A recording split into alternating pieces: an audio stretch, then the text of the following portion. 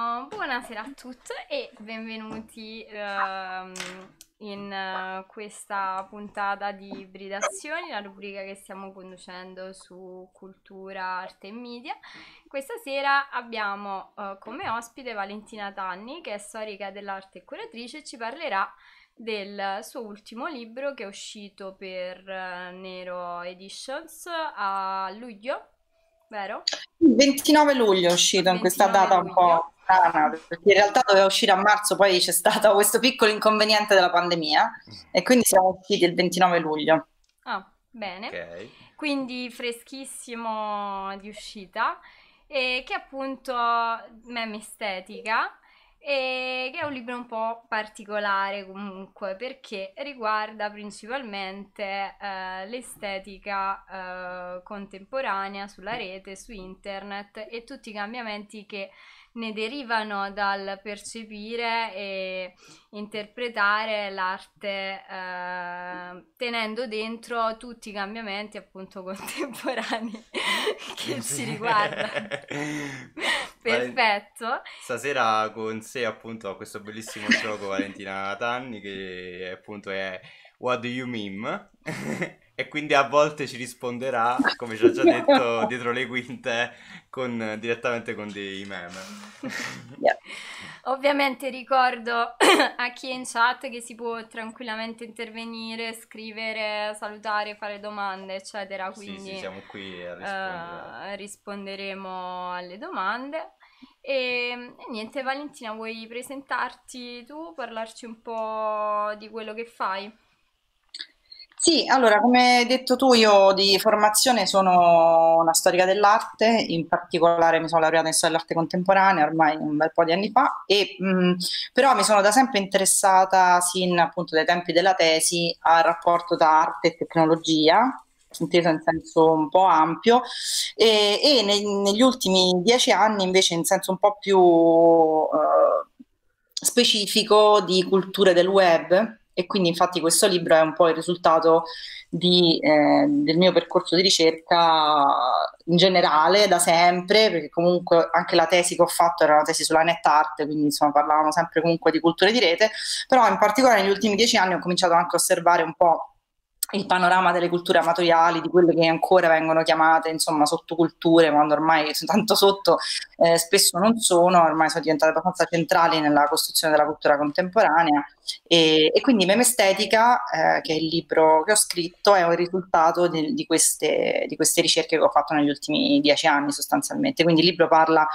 di come è cambiato il mondo delle immagini, eh, di come ci rapportiamo oggi in maniera differente con le immagini, di come tutti quanti partecipiamo più o meno, in maniera più o meno intensa alla costruzione dell'immaginario collettivo, quindi non soltanto fruendo passivamente, ma interagendo con gli oggetti, appropriandosi delle immagini e, del, e dei contenuti e eh, modificandoli in tanti modi diversi. Ovviamente all'interno di questo discorso la memetica eh, riveste naturalmente un'importanza notevole però nel libro cerco anche di far vedere come, eh, di raccontare come stia emergendo anche una cultura eh, vis- non solo visiva, una cultura in generale eh, che in, per alcuni versi eh, ci sembra quasi assomigliare ad alcune cose delle avanguardie storiche o de- anche delle avanguardie un po' più recenti.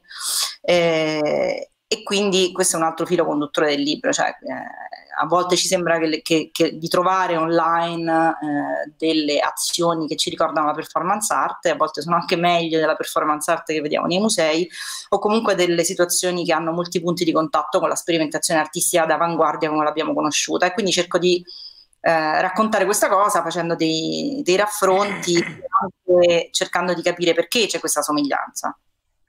Mm, e immagino che comunque nel, nel tuo percorso, appunto, dato che dicevi che questo libro lo porti avanti da un bel po' di tempo, cioè eh, il percorso si sia evoluto eh, sostanzialmente nel corso di questi ultimi dieci anni, cioè mm, mentre tu l'hai scritto sono successe tante tante cose che hanno modificato sicuramente l'andamento del libro. Sì, decisamente. Sì, eh, sì, ma infatti il libro è stato un po' un work in progress, eh, in realtà poi ha preso la forma attuale ovviamente soltanto negli ultimi anni, però è il frutto di quello che poi, di una serie di eh, articoli, mostre che ho curato e conferenze che ho fatto e corsi, università, accademie, eccetera, che faccio. E quindi tutto l'insieme di, questo, di queste osservazioni, di queste ricerche, di queste cose che ho scritto, poi alla fine ha preso questa forma qui. E come dici te, non, è vero che eh, stiamo parlando di, una, di, un panorama che cambia molto rapidamente, eh, quindi è molto difficile fissare eh, la fotografia di un momento perché appena lo dici già alcune cose cambiano, infatti già da quando è uscito il libro a oggi già per esempio c'è il capitolo in cui parlo di TikTok, comunque delle performance che eh, si, eh, della, della, dell'aspetto performativo di alcune azioni su TikTok, ma non solo, anche su altri siti web, però in particolare per esempio già il modo in cui descrivo TikTok già non, non è più del tutto adeguato a eh, quello che la piattaforma è oggi, per esempio, perché quello è una cosa che io ho scritto osservando la piattaforma eh, ormai, che ne so, due anni fa, tre anni fa, certo. e è vero che eh, voglio dire, il discorso teorico credo che resti valido, anche perché non dipende tanto dalla piattaforma, perché poi le piattaforme cambiano.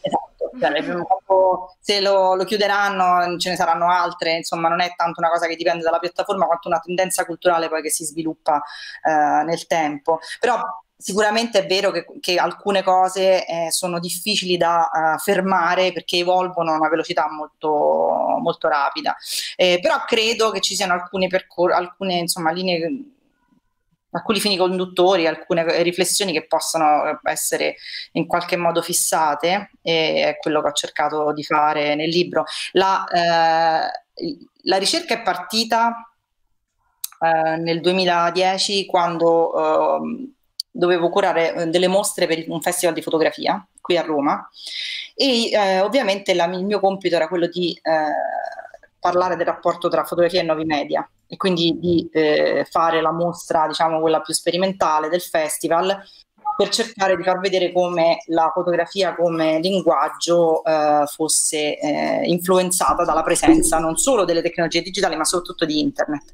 Quindi queste, questo è stato il, il, primo momento in cui sono stata costretta a mettermi a riflettere sul uh, cambiamento nel mondo delle immagini. Naturalmente nel mondo delle immagini la fotografia, intesa in senso molto ampio, è il linguaggio fondamentale, cioè noi eh, conosciamo eh, gran parte delle cose che conosciamo attraverso delle testimonianze fotografiche, però come eh, cerco di spiegare in varie parti nel libro, però il nostro rapporto con la fotografia è molto cambiato ed è diventato un po' schizofrenico eh, ossia da un lato eh, fotografiamo tantissimo, fotografiamo continuamente perché abbiamo la macchina fotografia nel telefono e eh, lo usiamo anche non, non, soltanto per immortalare momenti importanti come facevamo prima, lo facciamo anche per prendere appunti, per fotografare la lista della spesa, eh, per fare tutto quello che ci può essere utile. Fotografiamo di continuo anche perché non abbiamo il problema che ti finisce il rullino o hai problemi economici, di soldi se fai più foto o meno foto. No?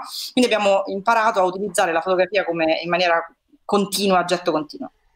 E, tutto, e quindi da un lato lo usiamo, le, le, scattiamo continuamente, dall'altro anche le fruiamo continuamente perché eh, online noi il, appunto riceviamo una quantità, eh, consumiamo, mi piace usare proprio il termine consumare, consumiamo una quantità di immagini eh, incredibile eh, ogni giorno e la maggior parte appunto della realtà eh, con cui veniamo a contatto è mediata da immagini fotografiche. Quindi da un lato non facciamo altro che fotografare e in tanti casi anche esibiamo le fotografie come prova di qualcosa che è successo, quindi come in qualche modo c'è una parte di noi che ancora crede nella capacità della fotografia di raccontare la verità, tra virgolette, comunque di testimoniare qualcosa che effettivamente è accaduto, nonostante appunto ci siano uh, ormai due secoli di storia della fotografia che ci, eh, insomma, ci dovrebbero far sospettare che non è proprio esattamente così.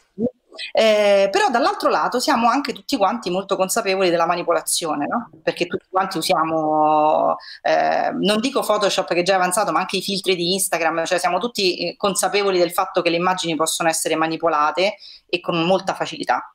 E molti di noi lo fanno anche in prima persona. Quindi siamo da un lato continuiamo a comportarci come se niente fosse successo, dall'altra però invece siamo molto consapevoli e quindi siamo anche scettici eh, il sospetto che ci viene sempre che un'immagine sia adulterata eh, no, è una prova di questa cosa. Quindi abbiamo un atteggiamento che secondo me io nel libro definisco un po' schizofrenico nei confronti delle immagini fotografiche. Cioè, ci, ci vorremmo tanto fidare della...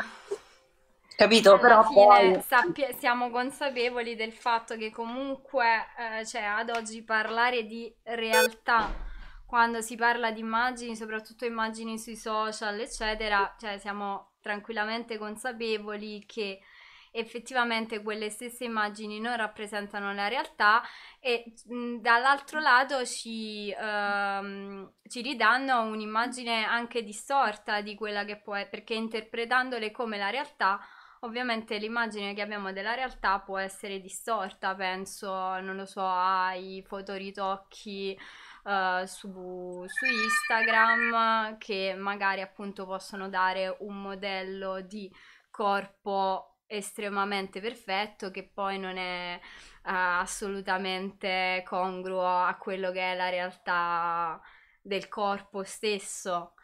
E appunto però oggi abbiamo tutti noi gli strumenti per mettere in atto uh, questa trasformazione. Uh, e uh, appunto le, le, stesse pratiche, vuoi parlarci un po' di pratiche dal basso, pratiche grassroots, uh, come, come dicevamo, sì. quindi questa nostra tendenza che è data ovviamente dallo strumento internet e da tutti gli strumenti che abbiamo a disposizione di facile utilizzo immediato sì. al creare cose nuove, remixando insieme anche uh, immagini, video, eccetera, già esistenti. Sì, esatto. Sì, allora questa ovviamente non è, eh, è, come dire, non è una cosa eh, nuova, ormai l'abbiamo osservata per tanto tempo. Eh, le, ehm, quello che una volta chiamavamo pubblico, ma adesso è un po' difficile chiamare soltanto pubblico, ma eh, diciamo un pubblico che è diventato molto mh, mm, meno passivo del passato, eh, interagisce continuamente sia con i prodotti della cultura cosiddetta mainstream, quindi sia con i prodotti che vengono dall'industria dei contenuti e de, diciamo, dell'intrattenimento inteso in senso generale, ma anche producono in prima persona contenuti che poi a loro volta vengono remixati dagli utenti. Quindi diciamo che il sistema di costruzione dell'immaginario collettivo è ormai un processo ehm, definitivamente liberato, che non è più in mano a eh, un a, una, insomma, a, un gruppo di persone specifico e specializzato nella creazione di immagini, quindi qualcosa che facciamo tutti quanti, eh, tutti i giorni, continuamente. E questa eh, nuova realtà, nonostante appunto sia ormai neanche più tanto nuova, perché stiamo parlando di un processo che ormai possiamo osservare già da una ventina d'anni, ehm, Nonostante questo, a livello più diciamo, culturale, più ampio, non è ancora molto accettato, esistono tanti processi ancora, eh, tanti sistemi che cercano di frenare questo tipo di cose, soprattutto a livello legale, tutte, ci sono tutta una serie di problematiche sul copyright, quindi sul riutilizzo delle cose, quando in realtà ovviamente è, eh, si tratta di una valanga eh, inarrestabile che non può, più essere, non può più essere fermata. Quindi lo vediamo tutti i giorni che qualsiasi tipo di contenuto può essere eh, appropriato, modificato, deviato di significato eh, e, e, manipolato, in, sia come dire in senso positivo, eh, ovviamente la manipolazione però può anche essere, assumere contorni meno, meno piacevoli, no? quindi mh, abbiamo anche visto come le immagini a volte, ma le immagini anche nel mondo dei meme esiste una, eh, un problema anche di manipolazione e di propaganda e di uso delle immagini in maniera, come dire, non, non propriamente positiva e, e, eticamente corretta. Diciamo. diciamo che la manipolazione ha due facce, eh, cioè da un lato eh, io ho cercato un po' di, di, di, metterlo, di mettere questa cosa nel libro, che sì, che da una parte è, è un processo estremamente entusiasmante, io in prima persona sono molto entusiasta eh, di, eh, di, vedere la partecipazione collettiva alla, alla, creazione di immagini, è una cosa secondo me bellissima, il fatto che le persone si sentano anche più libere di esprimersi perché eh, vedono che ci sono tante altre persone che si esprimono e quindi in qualche modo dicono ok, cioè, posso partecipare anche io, cioè più persone partecipano, più le persone si sentono autorizzate a partecipare e hanno voglia di partecipare, quindi questa è una cosa in teoria bellissima, no? però ha i suoi risvolti, ci sono anche dei risvolti meno, uh, come dire, un po' più inquietanti.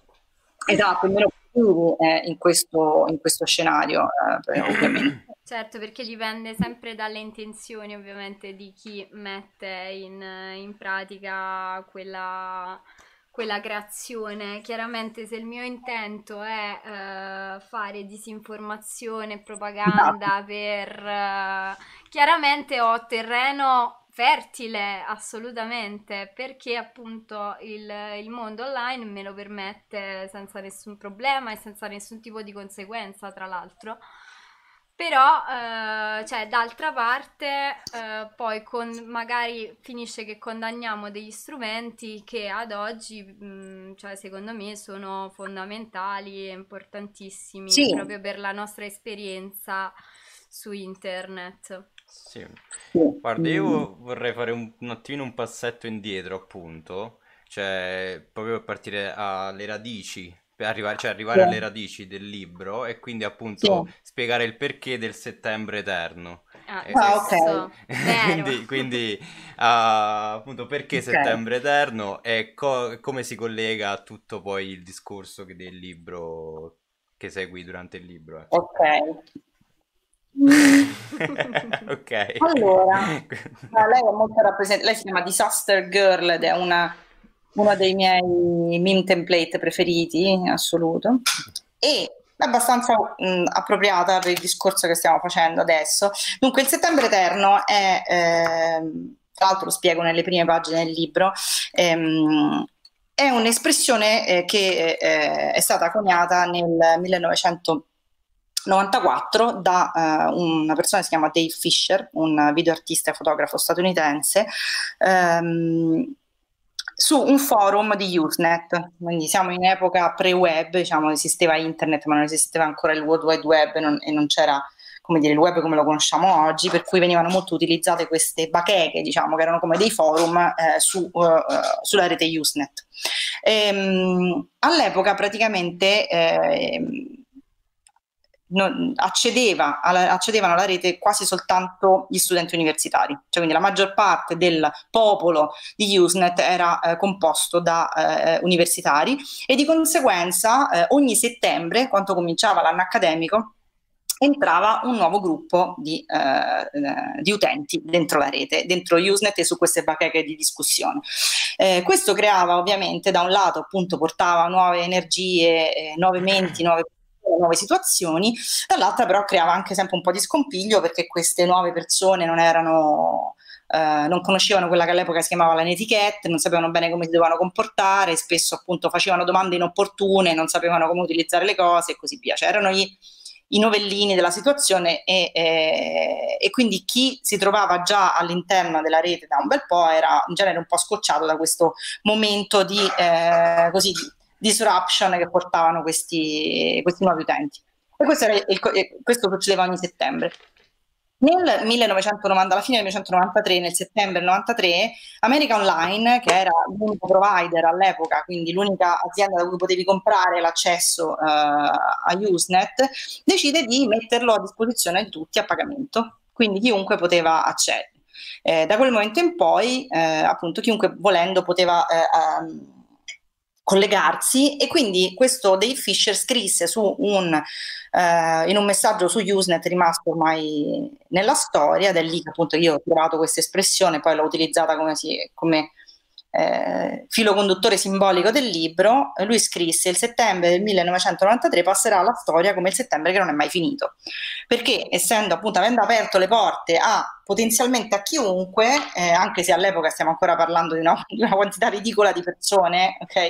Ehm, però se, per dare dei numeri, nel 95 era collegato eh, online tipo l'1% della popolazione mondiale, adesso siamo oltre il 60%, quindi per dire come è cambiato anche il, eh, numericamente no? il, il, pubblico delle persone che, che partecipano. E, e, quindi che cosa, ovviamente che cosa eh, simboleggia questa cosa del settembre eterno? Simboleggia l'accesso.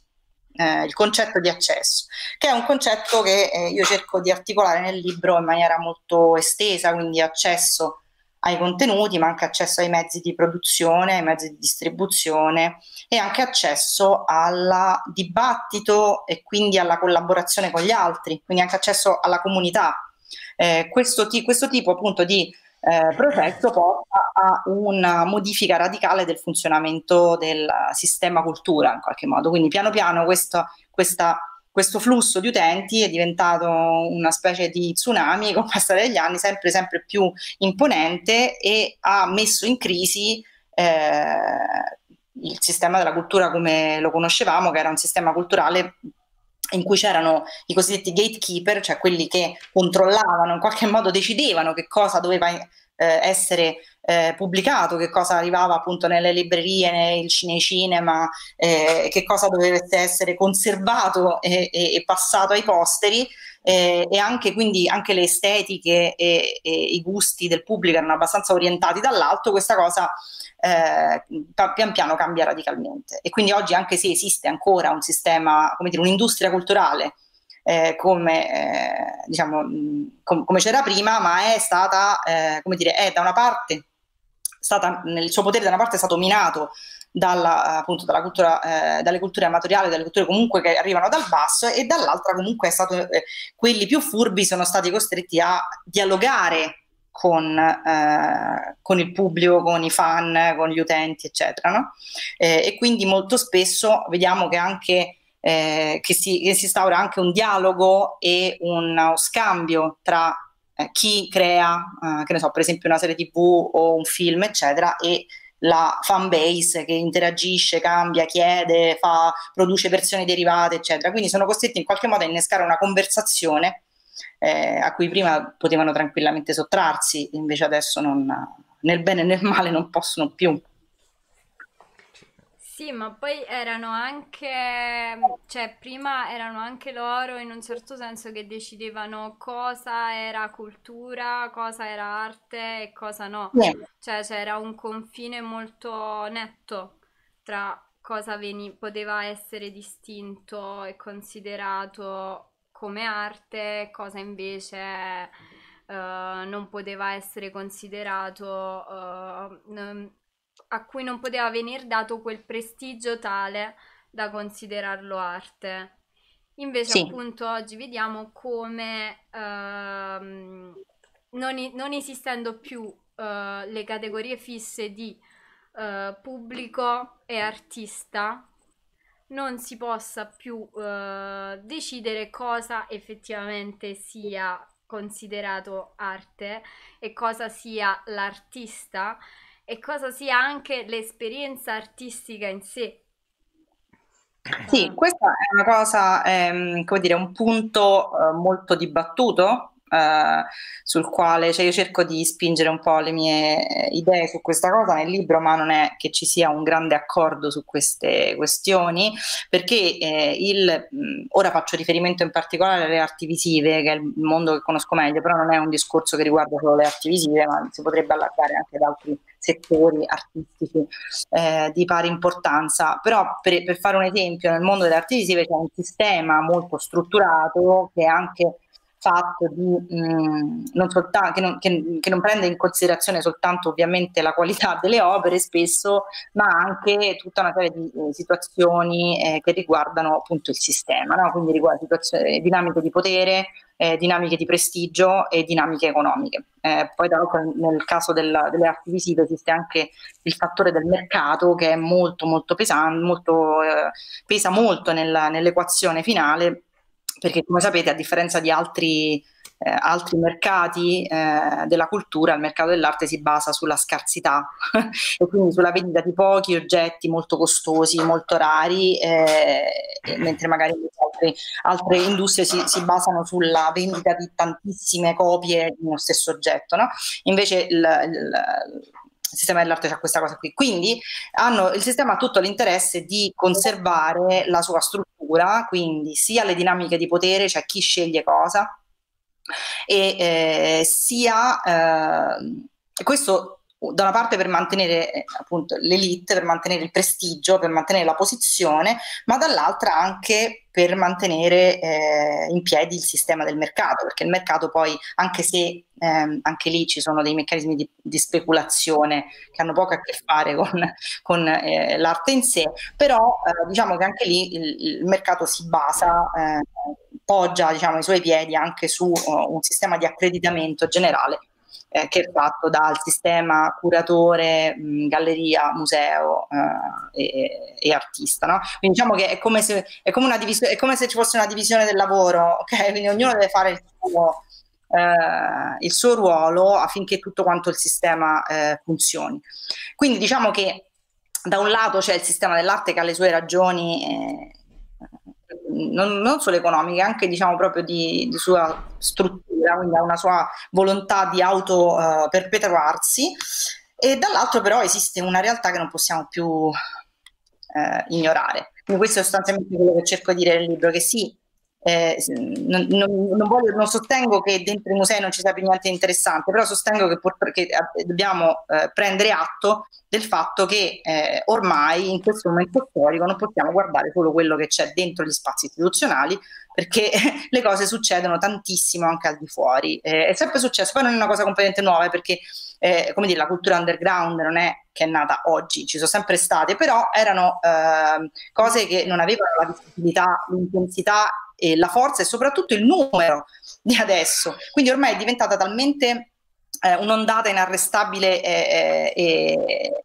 incontenibile che credo sia arrivato il momento di farci conti, cioè quindi di eh, accettare il fatto che l'arte possa manifestarsi anche al di fuori del sistema eh, e che di conseguenza possa anche essere diventato un linguaggio di espressione eh, diffuso eh, che è arrivato anche in parte in mano alle persone eh, e questo ci, tra l'altro appunto osservando anche che molte Uh, molti progetti che nascono spontaneamente in rete magari ci fanno pensare all'arte concettuale, alla performance art, così. Questo no, non è, cioè è vero che spesso sono somiglianze non consapevoli, nel senso che spesso non c'è una filiazione diretta, non è che loro stanno, non è che queste persone stanno cercando di emulare eh, l'artista famoso, anzi spesso non, non, lo conoscono nemmeno, quindi non sanno qual è la fonte, ma il fatto che spontaneamente nasca quel tipo di linguaggio significa che la, dire, l'atteggiamento eh, creativo, l'atteggiamento artistico, la, la tendenza a, a, a incorporare nella vita il gesto artistico è qualcosa che si sta diffondendo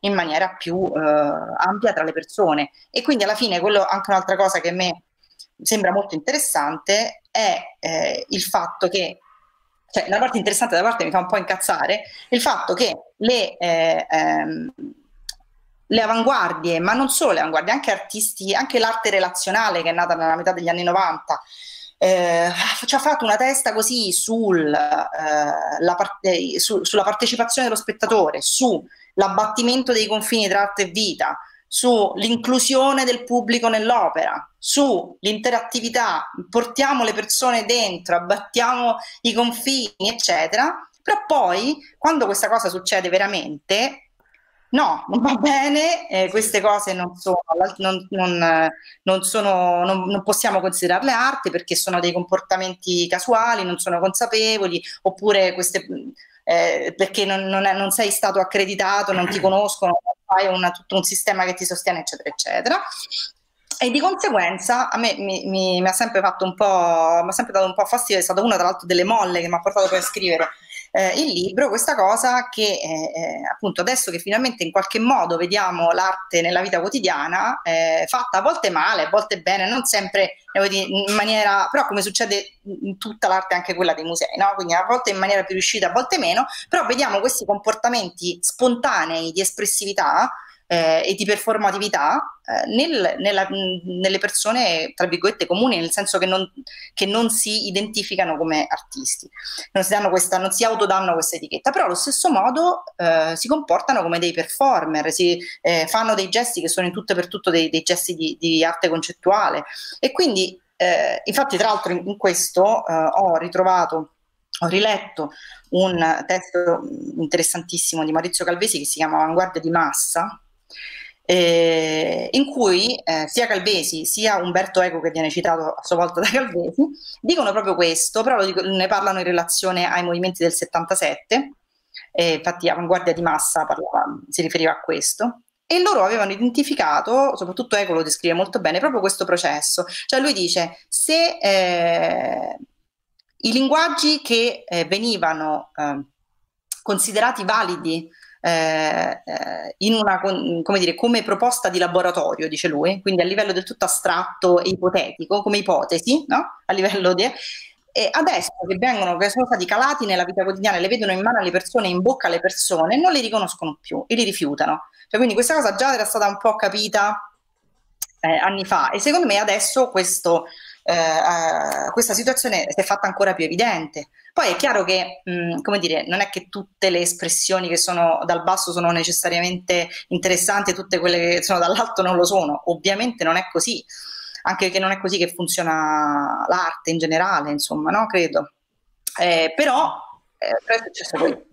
Quindi quando eh, ci troviamo di fronte a delle cose che troviamo anonime online, eh, però che hanno tutte le caratteristiche di un progetto artistico, però non si sa chi l'ha fatto, non si sa come, non, è, non, c'ha, non c'è, magari c'ha un nome utente XY, eccetera, e quindi questo eh, lo, come dire, lo scredita a prescindere, no?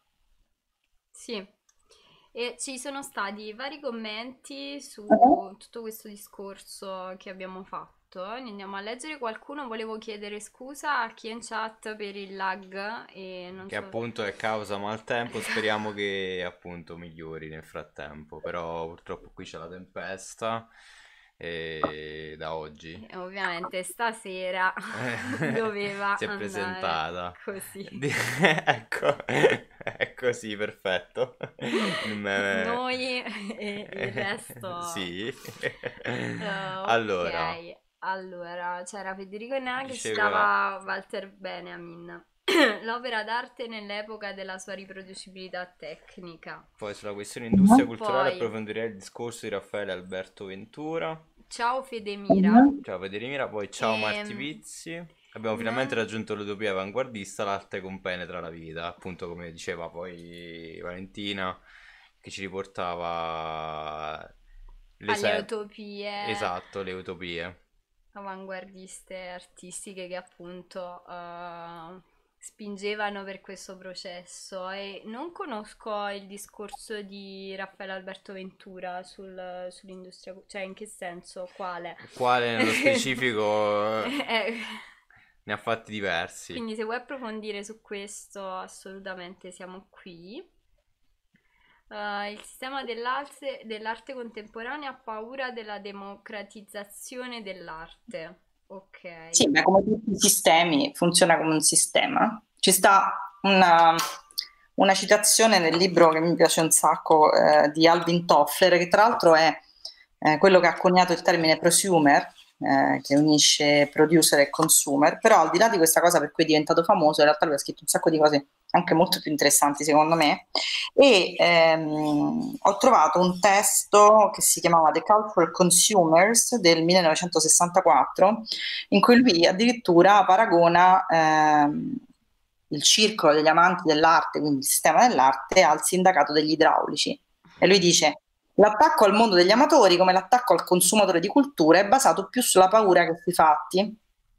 Eh, I colti amanti dell'arte di lunga data, che hanno a cuore la propria anzianità come i membri del vecchio sindacato degli idraulici, temono i nuovi arrivati. Gli è stato detto che sono un'elite e che l'elite ora è minacciata.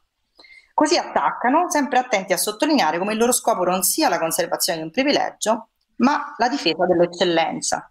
E questo è un discorso, questo è un testo del 1964, tra l'altro un, un, testo molto specifico che parla del, della situazione degli Stati Uniti, eh, quindi è un testo un po' specifico su quel eh, mondo lì, però lui già identificava il fatto che eh, il sistema dell'arte resistesse, non soltanto, tra l'altro qua neanche parlava tanto eh, del, degli amatori mh, in senso di creazione, parlava proprio del, dei consumatori di cultura, quindi parlava del fatto che addirittura non, non solo non volevano che, eh, che, che, ci fossero artisti, tra virgolette, dal basso, non volevano neanche che si aumentasse il pubblico dei, degli amatori dell'arte perché doveva essere un'elite, capito?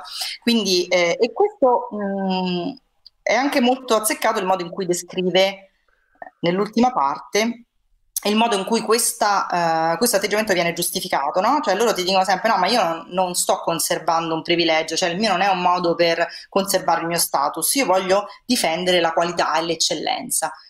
E questa è una cosa, è un'argomentazione che eh, è tuttora uh, utilizzata eh, per, appunto, per, per, difendere questo, questo baluardo, no?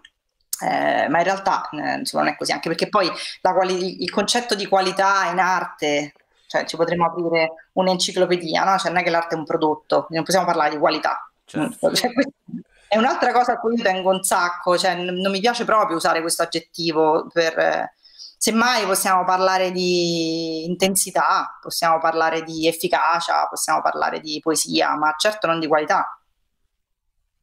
No, infatti, cioè, non, non è sicuramente la qualità che determina un'opera artistica, ecco. Cioè, non è... Certo, come la misuri la qualità? Cioè, puoi misurare la qualità di un prodotto, sì. ma non puoi...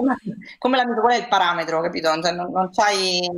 Sì, eh, tra l'altro in chat abbiamo un mematore, eh, a proposito di... Ah, bene. Sì, che ha appena fatto un meme, stiamo cercando di trasmetterlo. Sì, se riesco in qualche modo. Ok. Potete ha appena, capirlo ci ha appena memato, che è Ottimo. il nostro mematore ufficiale del canale, tra l'altro, vorrei dire. Dov'è? Eccolo. Ok, riusciamo ad aprirlo? Ecco, trasm- sì. riusciamo a trasmetterlo un attimo? Ok, perfetto. ok. Lui mema compulsivamente. Ah, volevo mandare il link del, il link del libro, che ovviamente non ho mandato. Sì. Uh... Giusto un attimo. Ok, eccolo. Ecco, da qui potete vedere il libro e acquistarlo eventualmente. Ah, poi il, il sito di Valentina. Sì. Sì, magari anche quello The Great Wall of Memes, di cui magari adesso vi parlo un attimo. Ah, sì, sì. Eccolo. Wall of Memes, ok.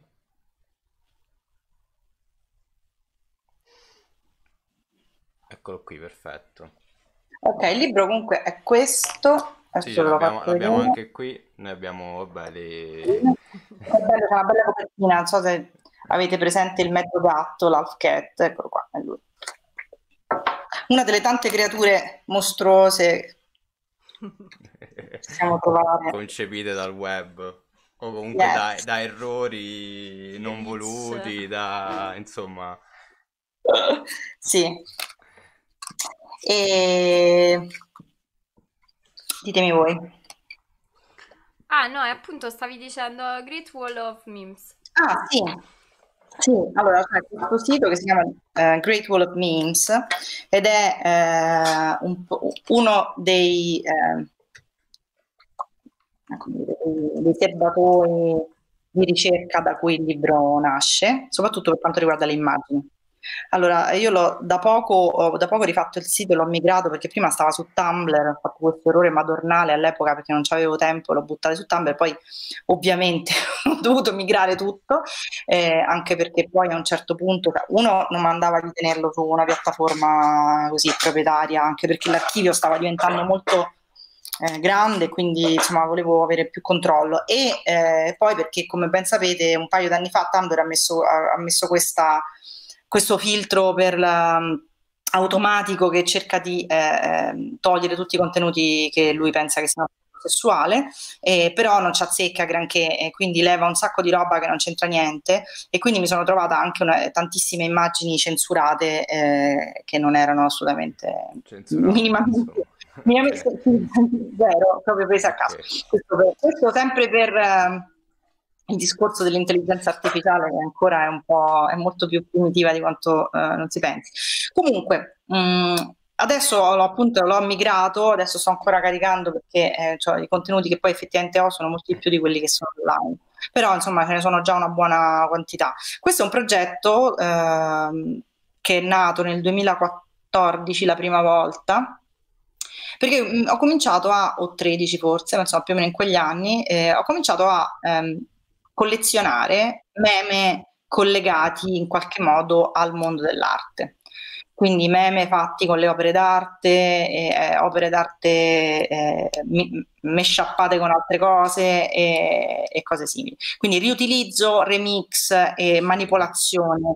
Ehm, più o meno legata al mondo dell'arte. Poi però questa cosa si è anche un po' estesa e ho cominciato a collezionare anche tutta una serie di altre immagini che non sono proprio eh, semplicemente meme eh, fatti con le opere d'arte, ma sono anche immagini che invece eh, sono di per sé, secondo me, delle opere d'arte più o meno volontarie. Sì. E quindi ho cominciato anche a collezionare tutta una serie di immagini ehm, che in qualche modo, eh, secondo me, erano molto significative per descrivere un certo tipo di estetica eh, che c'è adesso online. E, e questo, uh, questo, questo, database di immagini che cresce ancora e continuo a collezionarle, a catalogarle, tra l'altro se Bellissimo, volete, volete finirlo mh, nel modo corretto, dovete andare nel link dove c'è scritto tag list e navigare per tag, perché quella è la cosa più interessante, perché eh, cliccando sui vari tag vedete, perché le immagini sono categorizzate in un certo okay. modo e quindi tutti quelli che sono i fili conduttori Naturalmente più il tag è grande, più, ci so, più, so quanti, più sono numerose le immagini e, e, e, lì potete vedere che so, clicchi su boh, Munch, vedi tutte le modifiche dell'urlo di Munch, oppure vai sul link mm, food e trovi tutte le, le, foto che riguardano il cibo e così via. E come fonte di ispirazione molto blanda, perché insomma, è un progetto che poi alla fine è molto diverso, però io sono sempre stata una fan di Abby Warburg dell'Atlante eh, Mnemosine di Albi Warburg e eh, quindi mi sono ispirata a questa idea di studiare la cultura visiva utilizzando le immagini e confrontando le immagini tra di loro, vedendo anche come un'immagine cambia nel tempo e come viene modificata in maniera diversa, come migra da una parte all'altra, eccetera, eccetera. Quindi questo è il mio eh, serbatoio visivo per poi, eh, che poi osservando e catalogando questo usci- sono uscite fuori le, le, le, riflessioni del libro alla fine. Sì. E guardate invece nella link installations che c'è dentro, vedete che eh, questo uh, progetto anche, poi è, diventato anche un muro vero un sacco di volte.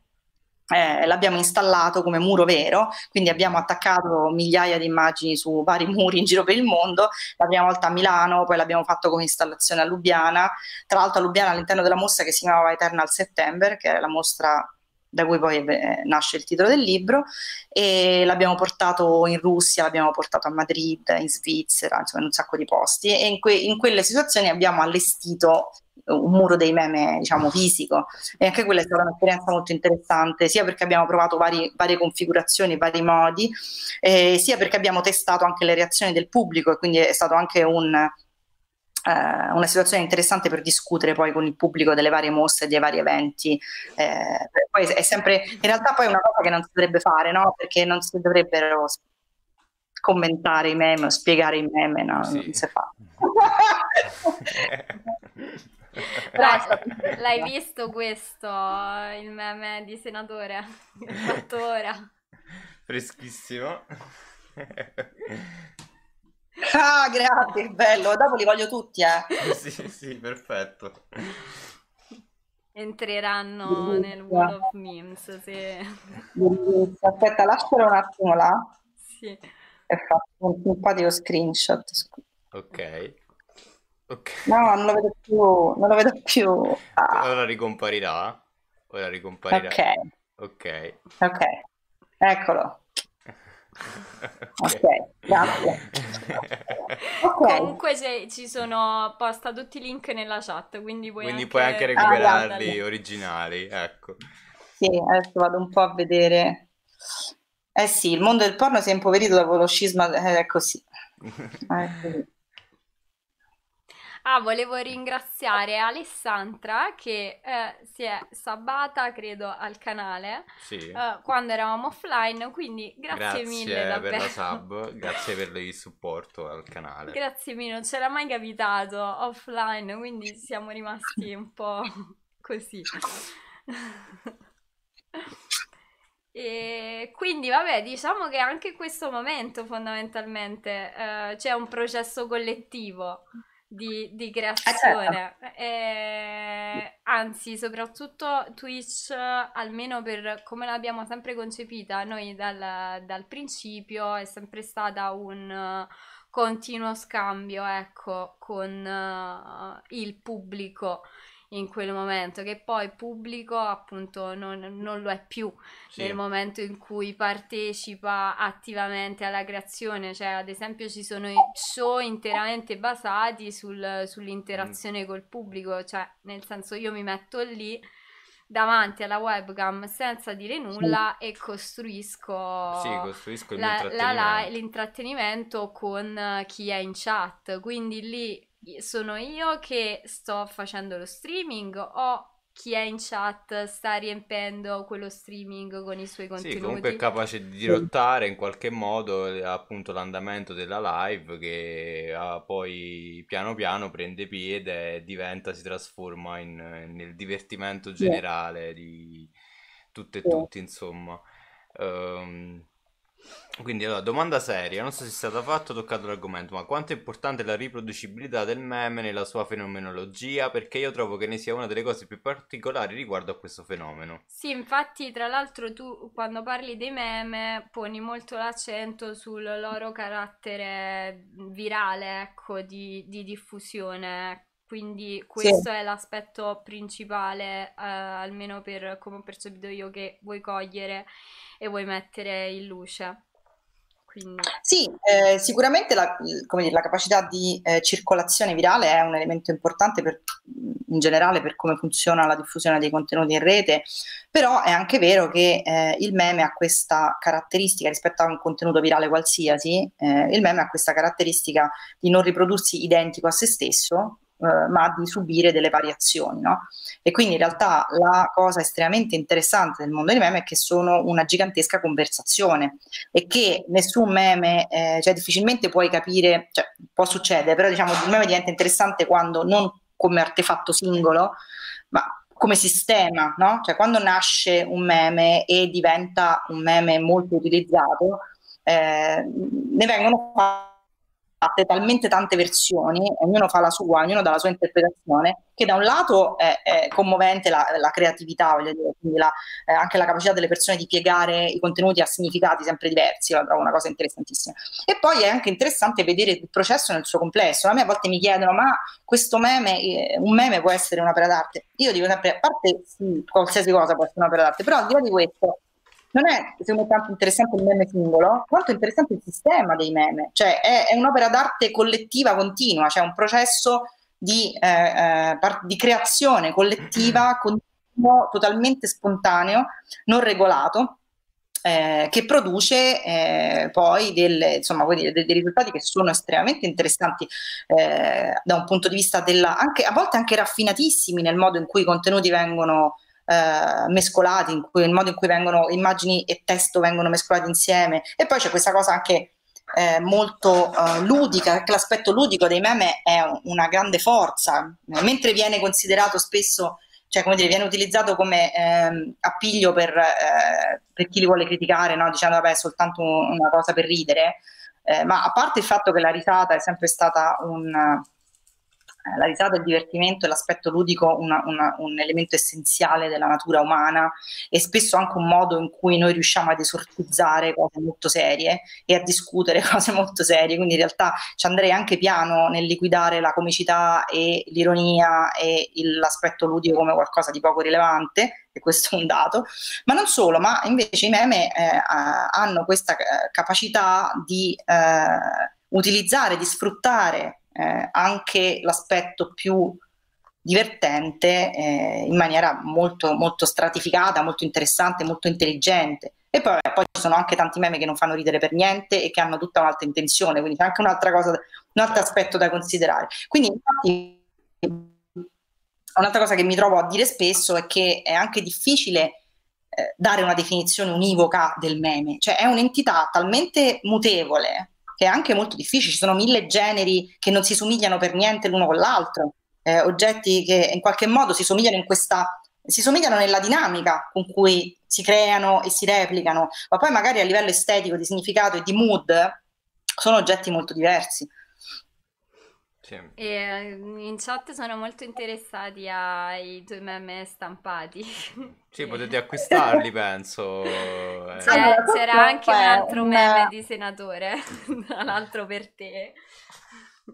Ok. Allora, beh, comunque questo è, eh, I meme stampati vengono da questo gioco che mi hanno regalato e con cui ancora non ho, non ho avuto modo di giocare, ma lo farò presto, che si chiama What Do You Mean? Questa è l'edizione UK, credo ci sia solo UK e USA, credo, e contiene praticamente una serie di eh, cartoline così dove ci sono tutte delle fotografie che fanno da base no? per, per, la creazione dei, dei meme, ce ne sono tantissime, e poi ci sono delle carte con dei testi, ok? E quindi va, devi associare i testi alle immagini per creare dei meme e poi ci sta un giudice che decide quali sono quelli migliori. Sì. Però non letto tipo bene. Cards però... Against Human, vera versione meme. Esatto, è que- eh, sì, esatto. ok. Poi ce ne sono molti così.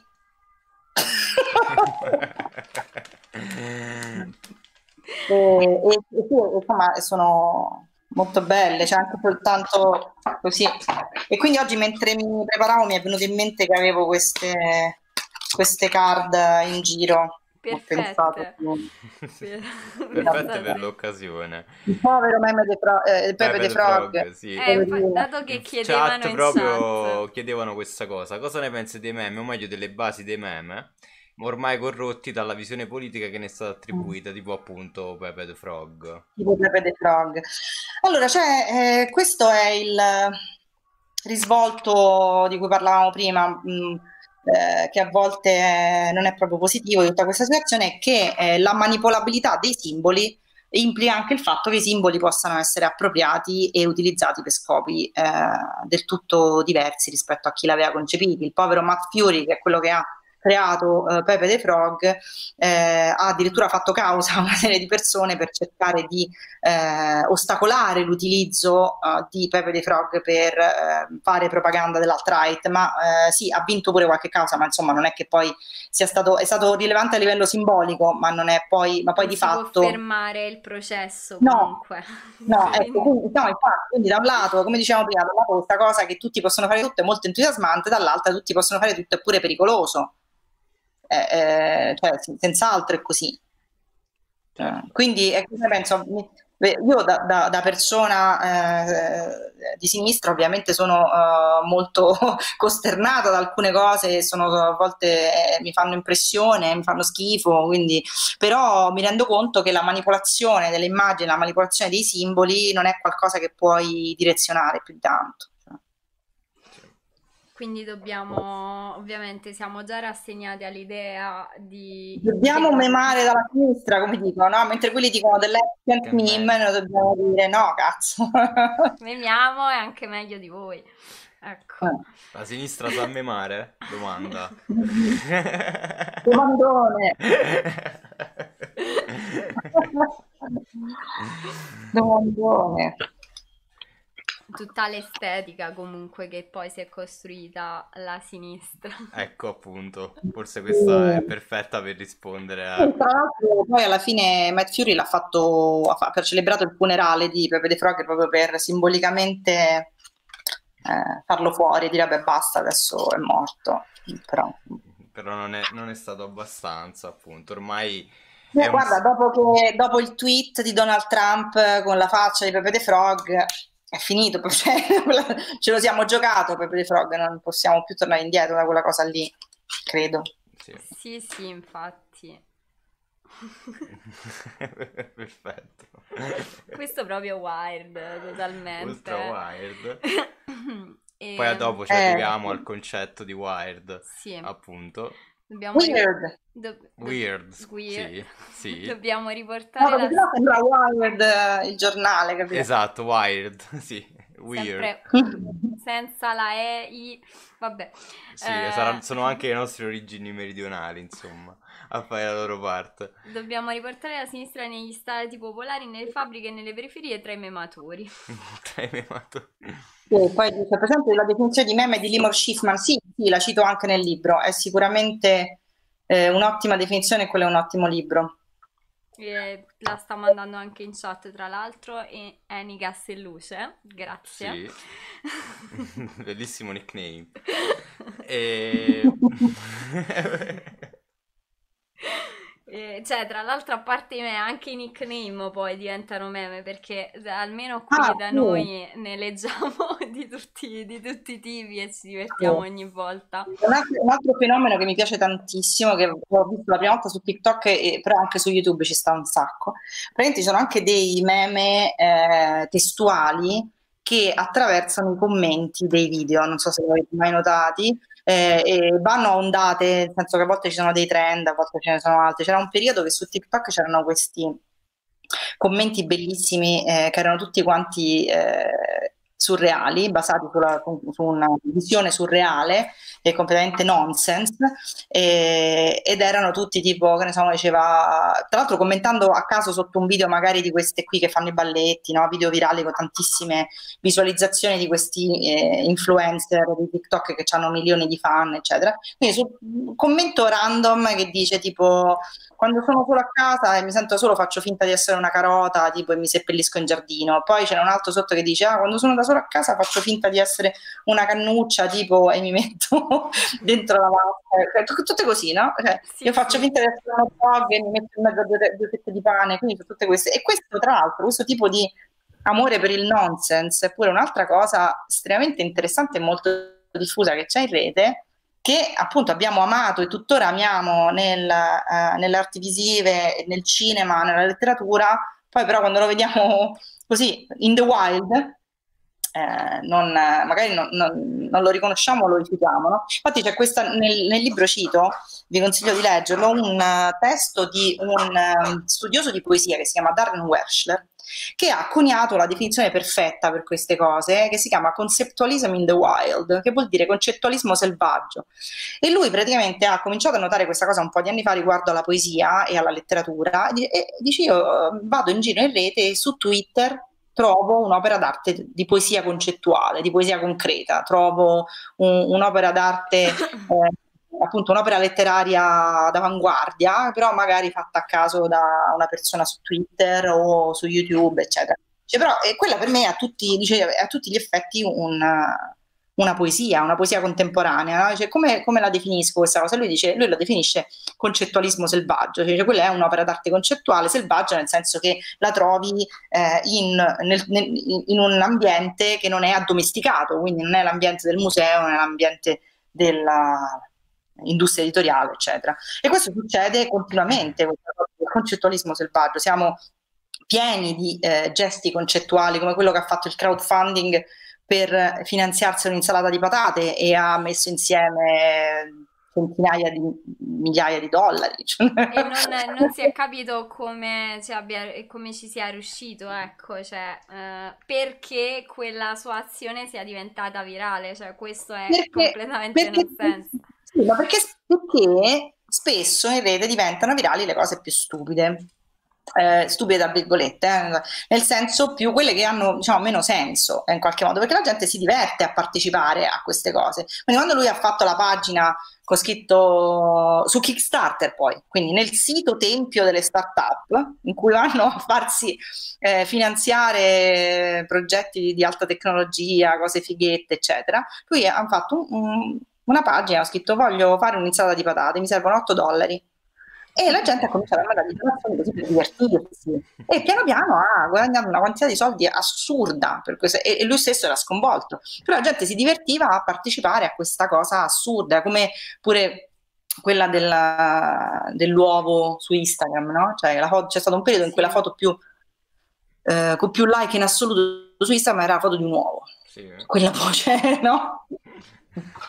Quindi proprio questo, totale espressione di, di, quello che diciamo. È l'amore cioè... per un testo completamente so, no, per il surrealismo totale proprio. Eh. E, um, vabbè, c'era Enigas e Luce sempre che ha riportato la definizione, la leggiamo. Suggerisco di definire un meme di internet come un gruppo di oggetti digitali che condividono caratteristiche comuni di contenuto, forme e intento B. Creati con la consapevolezza gli uni degli altri. C. Che circolano, vengono imitati e, eh, e o trasformati attraverso internet da molti utenti. Yeah. Sì. Sì, credo che sia una definizione assolutamente... Sì, comunque il testo di, di Limor Schiffman è molto interessante, eh, molto preciso nelle varie definizioni e tra l'altro è stata anche eh, una delle prime a, a sottolineare il fatto che cioè a cercare di ridimensionare, poi l'hanno fatto molti anche in, in seguito, ridimensionare questa, uh, eh, diciamo, il peso del concetto di viralità inteso come um, contagiosità. Cioè, a ridimensionare, a, a, dire, ok, sì, è vero che vanno virali e quindi la metafora del contagio è efficace perché eh, cioè, sembra che veramente te lo trasmetti come il raffreddore, però eh, in realtà lei dice ridimensioniamo questa cosa perché non è che va virale da solo, cioè ogni condivisione è frutto di una scelta. Quindi la volontà del singolo utente di partecipare a un processo, e, e soprattutto nel caso di meme che non implicano, non è soltanto un forward, è mi scarico l'immagine e la modifico, quindi c'è anche un processo di eh, aggiunta delle proprie cose no? nel processo, cioè, non può essere considerato semplicemente una cosa che così, un virus della mente, c'era un, un periodo che si parlava delle, dei meme e delle immagini virali come virus, come se fosse una cosa che te la prendi così non volendo, no? Eh, quindi in questo senso anche il libro è uno dei tanti meriti di quel testo. Sì, quindi concepirli ovviamente come un processo non, cioè in cui siamo direttamente partecipi e non come qualcosa che ci coglie e boh, siamo impreparati totalmente, lo subiamo passivamente, ecco. Yeah. Ed è anche esatto. la differenza principale con la memetica di Dawkins. Uh, dice sempre Eni. Uh, sì. Ovviamente il concetto della memetica... Mi se la ricorda la volpe impagliata questa. Perché poi c'è da dire che questa collezione ovviamente di immagini che sta dentro questo gioco è leggermente datata, quindi deve avere un po' di storia delle, delle immagini memetiche perché sono un po' il no. be- uh, baby dancing. Uh, baby dancing. No, proprio, vabbè, lì siamo proprio nella campo della sì che appunto citi nel libro. Sì. Proprio uno dei primi esempi di, di viralità ecco, online. Sì, questo bimbo ballerino, la gif del bimbo in pannolino che, che balla e che però è uno, nonostante sia uno dei più vecchi, è uno dei più longevi, cioè lo trovi ancora come GIF animata in un sacco di, di posti e ha resistito tantissimo al tempo, lo, trovi, io lo, vedo tantissimo usato per esempio su Instagram come GIF. Eh, quindi insomma, eh, ha avuto una vita molto lunga, oltre ad essere comparso in un sacco di eh, prodotti anche mainstream, tipo eh, Ellie McBeal, tipo i Simpson e altre cose. Insomma, è passato anche, è stato talmente diffusa la sua, eh, insomma, anche è stato talmente diffuso che poi è entrato anche... Mm. Eh, no, volevo dire il, il, processo dei meme comunque, eh, cioè alla fine un meme nasce, si diffonde, poi teoricamente muore perché viene sostituito. Poi il suo circolo, insomma, da, almeno nel, nell'utilizzo, ecco. Uh, poi ovviamente cioè, può capitare sempre che alcuni meme vengano ripresi dopo tanto tempo perché appunto sono comunque su internet, sono lì e sono sempre a disposizione di tutti, quindi chiaramente possono... è bellissimo questo. E lei spunta sempre nei commenti perché ha una faccia troppo espressiva. Estremamente. Però no, è effettivamente... Vero, un ciclo di vita.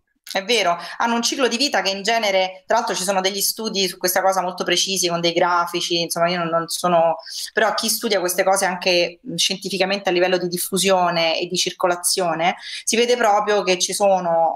Uh, per, per, i meme più popolari, ovviamente alcuni non riescono a, a superare una certa soglia di popolarità, però per quelli che diventano veramente molto popolari c'è proprio una, una curva precisa, cioè fanno un picco assoluto, vengono utilizzati per tantissimo, poi piano piano cominciano a decrescere a volte hanno del, delle improvvise punte a caso perché magari l'ha condivisi una persona molto famosa, quindi hanno un momento di, di, vengono ripescati in qualche modo, ma adesso ultimamente esiste anche, l'ho, già notato in un po' di, di situazioni online, ci, siamo già nella fase in cui il meme ha talmente tanta storia ormai, perché poi ormai su internet c'è 15-20 anni è, è, è, un sacco di tempo, eh, che si comincia anche a lavorare sul vintage, tra virgolette. Quindi ho visto anche ripescare delle immagini che venivano utilizzate tantissimo so, nel 2012, nel 2013, eh, ripescate e riutilizzate in modo diverso e anche con molto, ovviamente ironizzando sul fatto che sono meme vecchi. Poi ovviamente come, come sapete c'è sempre poi questa specie di eh, dialettica tra eh, i cosiddetti normi, no? Quindi c'è la, il discorso della normificazione dei meme, quindi sì. c'è anche questa dialettica tra quelli che teoricamente sono quelli che, che, che, li creano e fanno quelli più edgy e quelli che invece mm. semplicemente se, se, li, li, rubano, li portano su Facebook e poi li normificano e poi non fanno più ridere, eccetera. Ma questa è una storia complicata, però insomma, sì, diciamo ma... che il ciclo è, è, è, insomma, sì, hanno dei cicli di vita particolari, insomma.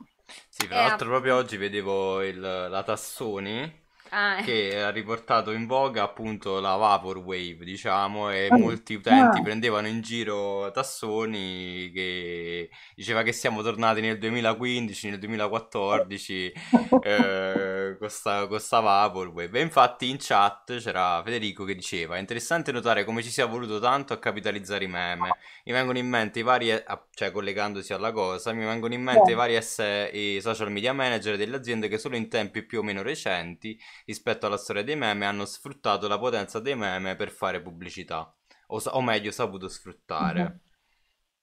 Beh, vabbè, eh, ci mettono sempre un po' ehm, a... arrivarci.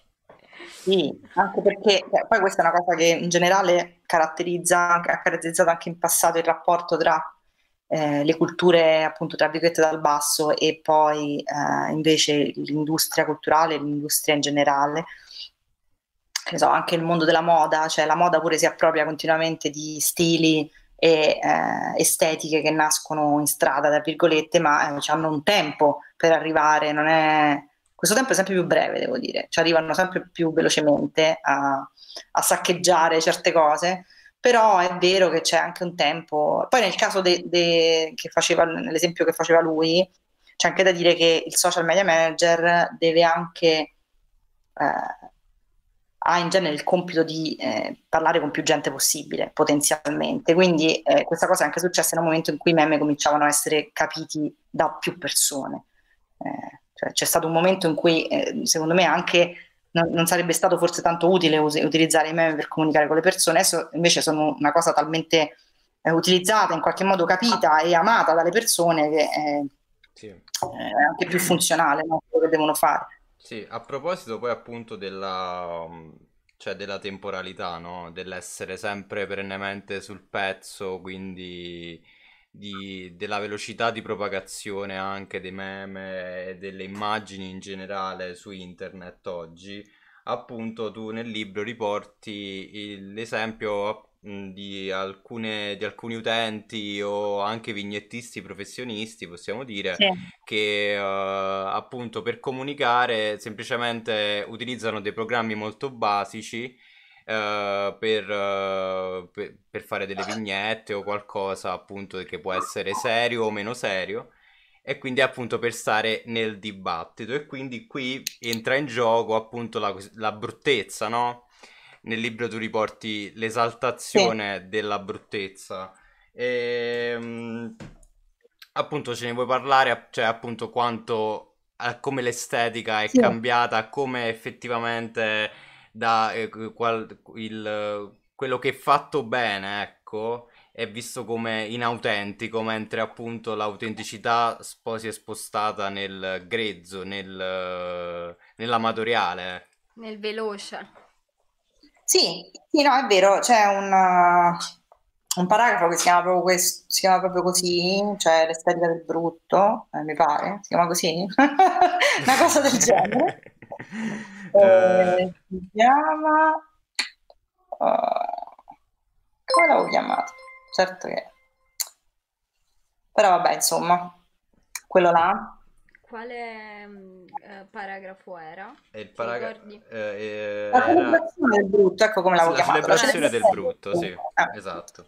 E eh, sì, in questo, questa parte il libro parla proprio di quello che dicevi tu, ossia di una, cioè un, dell'emergere di un certo tipo di estetica che predilige la velocità eh, e l'immediatezza eh, e li preferisce alla, eh, dire, all'estrema qualità dell'immagine, all'estrema definizione dell'immagine, all'estrema cura nella ehm, confezione del, del, contenuto, quindi anche nella raffinatezza, eccetera.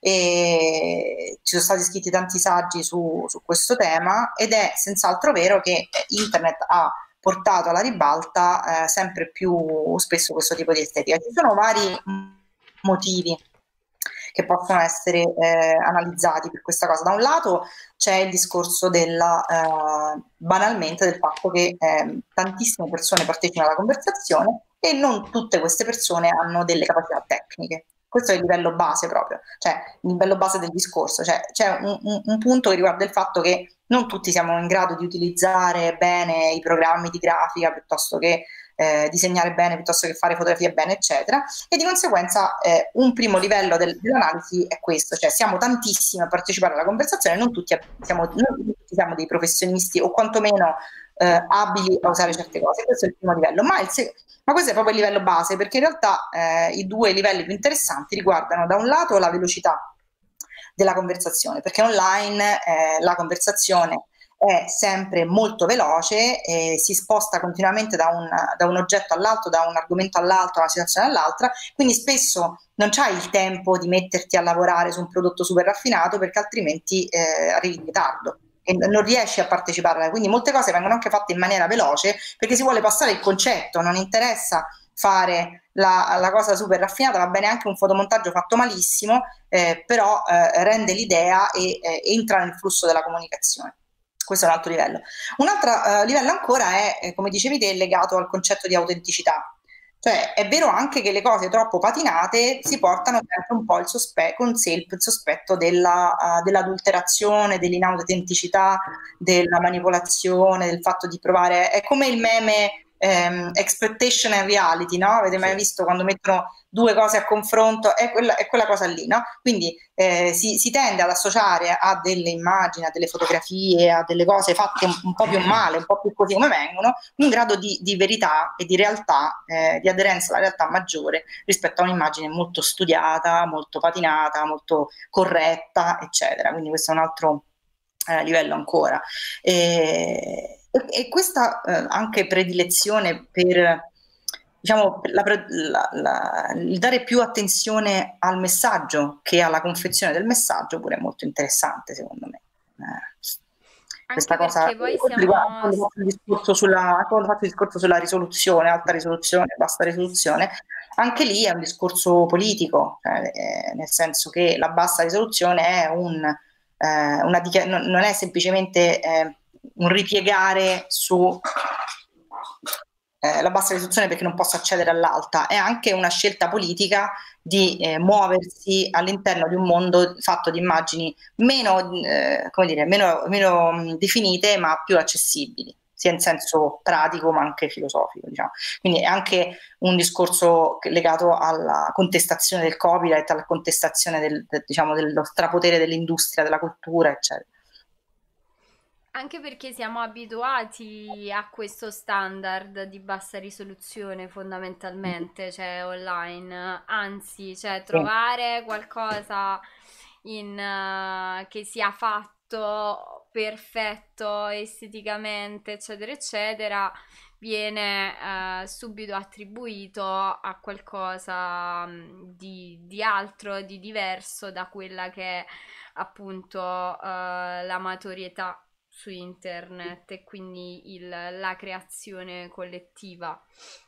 Uh, anche poi in questo senso ovviamente tu parlavi di mm, bassa risoluzione, alta risoluzione, anche se comunque tutto il discorso sul, sull'alta risoluzione uh, comunque in un certo senso um, viene, eh, cioè ce ne, ce ne si riappropria anche attraverso l'utilizzo, mi viene in mente, boh, del, delle sperimentazioni in 3D, quindi dell'iperrealtà ehm, in questo senso, quindi utilizzare sempre quello strumento per creare nuove pratiche, nuove sperimentazioni che fruiamo ovviamente quotidianamente.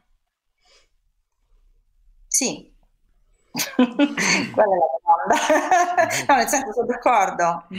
Riflessione rispetto. No, è stata molto esauriente, no? Per quello dicevo, non, non sapevo come... Ha spiegato lei a posto tuo. Come integrato, vabbè. ho letto e ho capito il libro, vedi, quindi... Molto, con molta attenzione, ti ringrazio. ehm, però volevo dire volevo buttare in mezzo questo sì. argomento, dato che prima parlavamo di nonsense. C'è però sì. anche un altro elemento eh, importante che eh, prende piede quasi come nonsense, cioè appunto il weird, no? Dicevamo.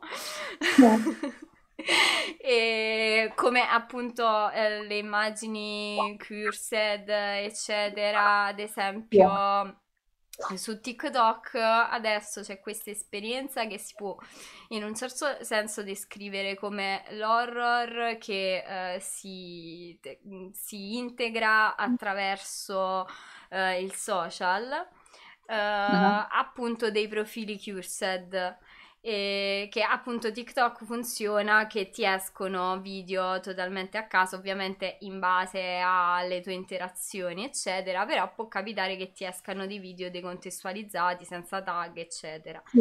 E diciamo questo... che su TikTok c'è questa eh, ormai da un po' di tempo questa divisione tra lo straight TikTok no? e l'alternative L'alt, TikTok. TikTok. Nello straight TikTok vedi tutti i video dei balletti, Charlie D'Amelio, eccetera. Se invece sei eh, nell'alt TikTok ti capita di vedere eh, le, i video con questi filtri tipo meme fritti, tutti quanti rossi, sì, tutti quanti sì, e appunto cursed meme, eh, cursed sì. video che cioè, a volte magari tu sei così, stai scorrendo, boh, vedi un video di gattini, ti ritrovi questo con la faccia spalmata così, cioè, e in quel momento è inquietante.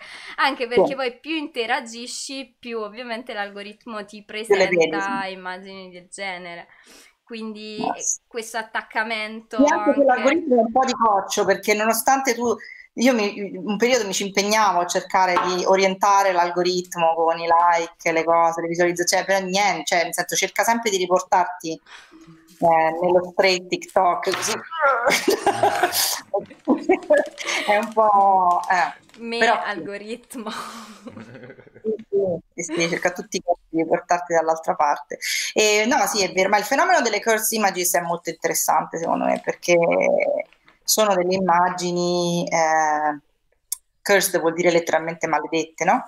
Quindi eh, sono delle immagini eh, molto strane eh, che, che, sono, um, di cui non si conosce l'esatta provenienza, eh, quindi si perde completamente il contesto, questa è un'altra cosa che succede spessissimo con le immagini su internet, non capisci da dove viene è stata scattata perché quindi la reazione che cazzo ho appena visto. E, e eh, la maggior parte delle volte hanno questo, sì, questo mood un po' da film horror eh, in bassa risoluzione e, e, eh, e sono, ed è interessante il fatto che non sono soltanto um, delle immagini appunto virali ma sono delle immagini maledette che significa che eh, in teoria si, dovrebbero essere portatrici di una specie di maledizione, no? come succede eh, in... Uh, oddio, non mi viene il nome del film, aiutami. Ring. Esatto, eh, se tu vedi l'immagine in qualche modo sei fregato, non puoi più uh, disvedere l'immagine, ormai l'hai vista, l'unica cosa che puoi fare è appunto cercare di trasferire la maledizione su qualcun altro, quindi passando avanti l'immagine a qualcun altro, eh, quindi il, il, concetto di viralità si trasforma in un concetto di eh, maledizione, quindi ti rimane, eh, ovviamente è una cosa metaforica per dire che quella cosa ti rimane nel cervello e ti può in qualche modo giocare perché tu è una specie di incubo materializzato in un'immagine. Lì però anche il discorso della bassa risoluzione è molto importante perché perché eh, proprio per queste foto sono sempre un po' sgranate, sembrano scattate in uno scantinato con poca luce, con delle creature che non si capisce bene che cosa sono e eh, appunto con tutti i pixel in vista eccetera aumentano la sensazione eh, di inquietudine diciamo queste immagini tirano fuori. E poi addirittura nel forum quello di Reddit dedicato alle cursed images eh, qualcuno giustamente ha detto più la fotocamera è una merda e più c'è la possibilità che eh, si possa essere messi in contatto con un layer paranormale, con una parte di mondo che non, che non, che, che non riusciamo a vedere. No? Quindi è anche interessante questa idea di, che le tecnologie possano fare da, come dire, da, da, ponte, da tramite, da, ponte, da, tramite. da tramite, da medium nel senso vero del termine tra questo mondo e, e l'altro. No? E poi è anche un gioco cattivello no? di passare perso- ad altre persone delle immagini che non vorrebbero vedere. Infatti la definizione più efficace eh, delle cursed images sempre trovata su quel forum è, è quella del, dell'admin del, del, forum che dice le cursed, images sono, le cursed images sono delle immagini che non dovrebbero esistere. Questa è la tua... Sì, sì, infatti penso che sia perfettamente adatta. Tra l'altro dalle Cursed Images uh, nascono anche le creepypasta, come citava sì. Alessandra in chat, che appunto c'è cioè, storie su storie su storie di paranormale fatti di internet, visti yeah. sotto questa chiave, nati magari da un'immagine che è circolata, boh, penso allo, allo Slenderman magari che appunto oggi uh, ci fanno anche Disman, no? avete presente il progetto Disman, quello sì. di Andrea Natella anche quello è un uh, caso di studio molto interessante eh, che, di eh, progetto artistico che praticamente si trasforma in una specie di leggenda urbana e eh, arriva a, uh, ad essere riutilizzato e appropriato da eh, dal santone indiano piuttosto che dall'adolescente giapponese, piuttosto che dai produttori di X-Files. Quindi talmente trasversale poi l'utilizzo che di questa immagine poi hanno fatto, ha fatto il resto del mondo, no? da, eh, da, creare questa situazione in cui la, la, l'autore non è più in grado di, di gestire niente, cioè, di controllare niente. Ehm, per, eh, perché siamo attratti da uh, questo tipo di immagini? Cioè, vabbè, tu fai una riflessione in vari, vari capitoli che ovviamente riguarda vari aspetti, ecco, del, della questione. Uh, però appunto... uh, ha ovviamente a che fare anche magari con la dissacrazione uh, stessa uh. dell'arte. E, e, niente, perché siamo attratti da questo tipo di immagine, da questo tipo di estetiche, perché generiamo queste cose su internet, penso anche boh, allo shitposting, uh, eccetera.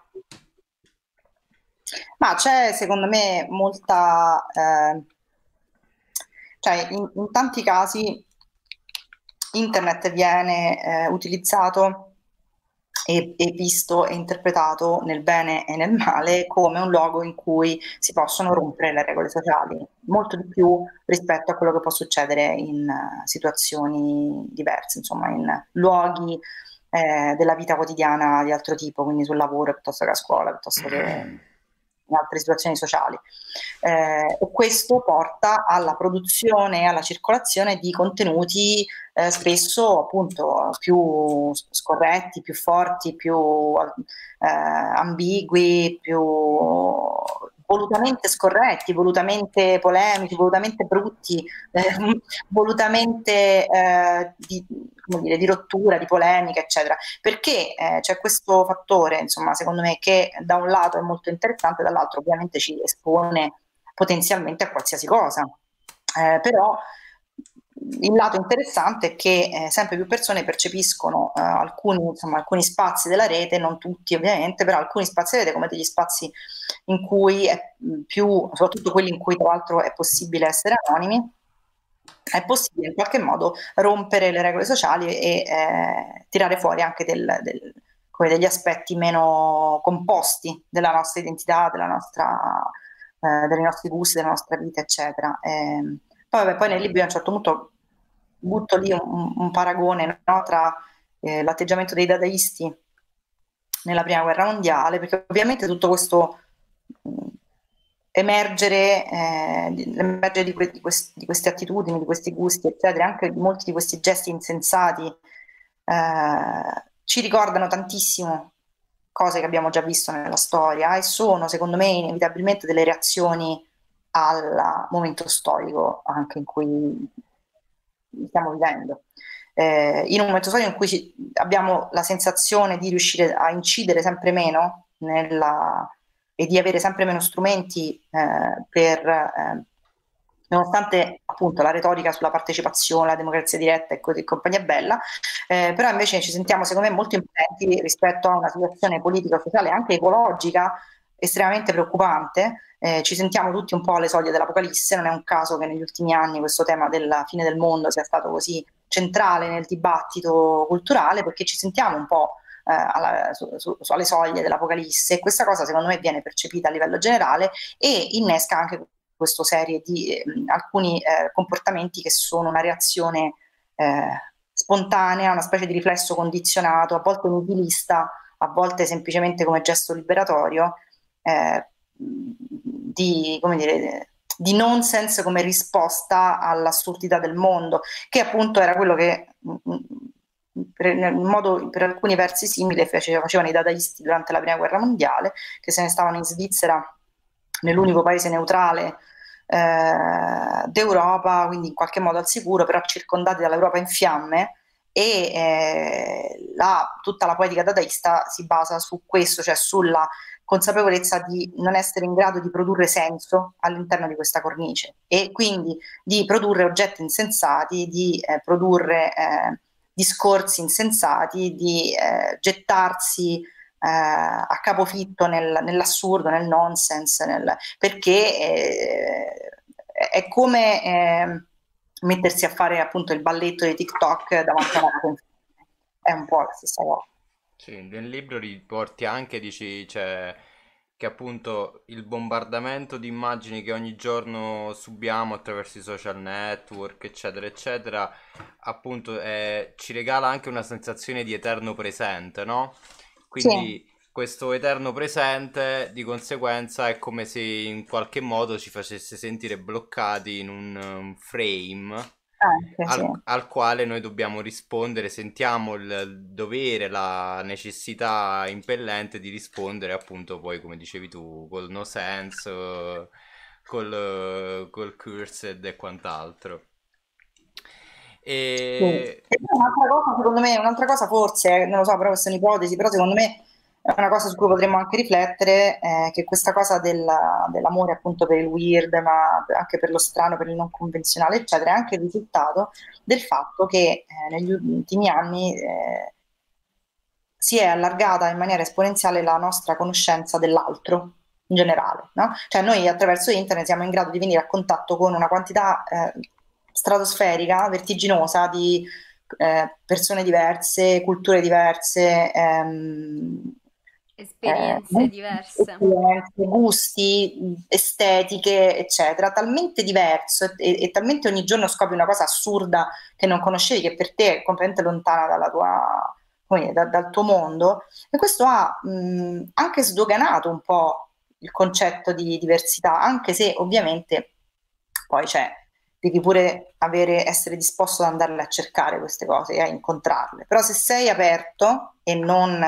usi solo Facebook come esperienza della rete, quindi sei anche in qualche modo eh, aperto a esplorare altre, questo mare magnum di cose che puoi scoprire utilizzando la rete anche al di fuori delle piattaforme più uh, utilizzate che anche in qualche modo orientano quello che vedi. Eh, ecco, internet ti dà eh, la possibilità di, di, fare di questo faccia a faccia continuo con il diverso, con l'assurdo, con le cose che per te sono completamente, con, anche con, il, eh, con l'incredibile, no? Cioè, infatti c'è questa tendenza di postare, di scambiarsi no? cose sempre più strane, cose sempre più particolari, perché in qualche modo abbiamo, abbiamo anche preso gusto a questa cosa di trovare la diversità, no? Il, lo strano, secondo me. Sì, infatti, cioè, penso che per, per alcuni alcune sia magari l'esperienza, il fruire internet dipenda anche da questo.